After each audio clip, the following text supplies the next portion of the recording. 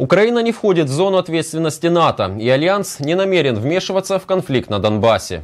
Украина не является членом НАТО. Между Украиной и членами НАТО есть разница. Альянс гарантирует безопасность только своим членам, сообщил Столтенберг в Лондоне в интервью телеканалу Sky. Генсек отметил, что Украина не входит в зону ответственности НАТО и разъяснил.